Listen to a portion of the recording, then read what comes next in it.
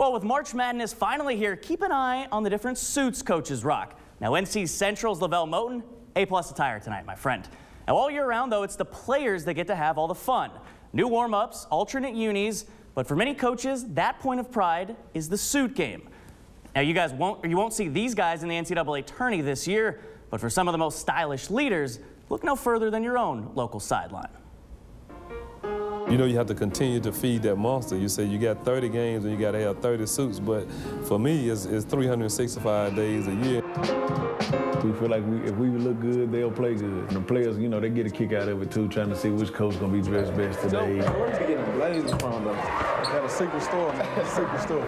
For Jackson State coach Wayne Brent, who owns nearly 75 different suits, his style quickly evolved into part of his personal identity with players and fans. People get accustomed to seeing you in, in nice looking suits, so uh, every day that I, I, I come out the house, whether it's game day or not, those same kids or those same parents, they know me more by clothes that I wear other than just being, being Coach Brent. We got to get the rebound. Everybody got to go get the rebound. But coaches in Mississippi know they'll always be second to this man, Valley State legend Lafayette Stribling. David Sanders said he knew he'd made it the first time Strib complimented his wardrobe. So to get that stamp of approval from Strib, who this guy, I mean, he has every color in the rainbow in his closet. So, you know, it was something that, you know, really made me proud, and he's a very well-respected coach. Cufflinks, pocket squares, watches.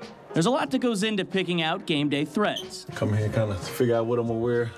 Sometimes my wife picks it out for me, sometimes I pick it out.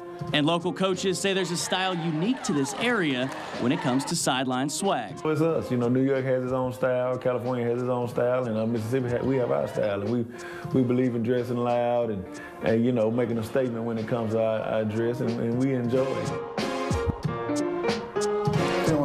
Feeling a little plain right now. man. I know. I, I was thinking, if you're like those guys, you can match a blazer that's different from the pants. That style. We just come in these plain old suits, easy to match, but Got to get your swag up. I do. It, it kind of kind of a game within the game though, so it was fun to learn that you know the swag really does matter. it does. All right, cool. Thanks so much, Jeff. That's